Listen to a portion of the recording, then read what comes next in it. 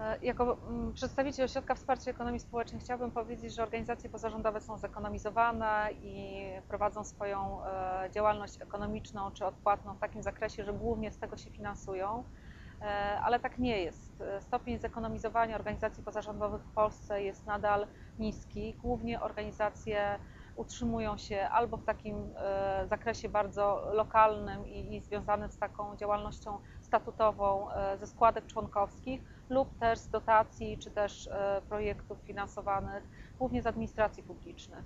Oczywiście jest również szereg organizacji, które pozyskują środki zewnętrzne, na przykład z Unii Europejskiej. E, natomiast bardzo duże e, gro organizacji małych, szczególnie lokalnych, żyje ze składek członkowskich lub z tych funduszy, które pozyskają od swoich lokalnych samorządów.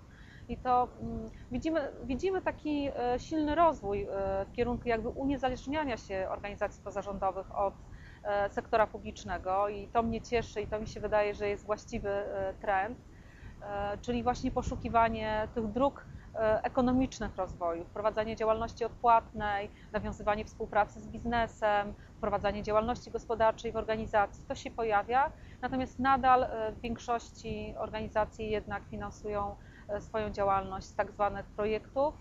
E, no i teraz też ten moment trudny, czyli przełom jednej perspektywy i drugiej perspektywy finansowania z Unii Europejskiej, pokazał, jak ważne jest szukanie właśnie różnorodnych źródeł finansowania i uniezależniania się od jednego źródła, czy to administracyjnego, e, czy właśnie na przykład projektowego.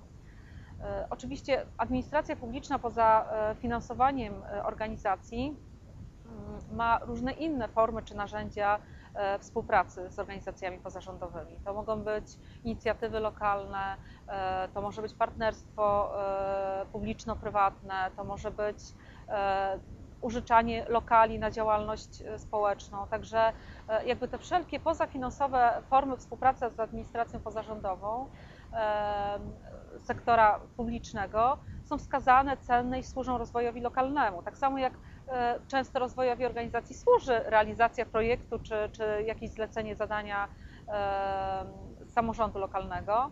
E, natomiast na pewno najbardziej rozwojowe jest to, żeby te formy były różnorakie, żeby organizacja szukała różnych narzędzi do swoich działań, do finansowania swoich działań statutowych, które służą realizacji celów. Tych, które są związane ze współpracą z administracją publiczną, tych, które są związane e, ze współpracą na przykład z sektorem prywatnym, tych, które mogą być e, wynikiem sieciowania, klastrowania się organizacji pozarządowych między sobą i tworzenia partnerstw. No i to jest chyba taka właściwa droga rozwoju, czyli poszukiwanie tych różnych dróg, różnych alternatyw i różnych narzędzi.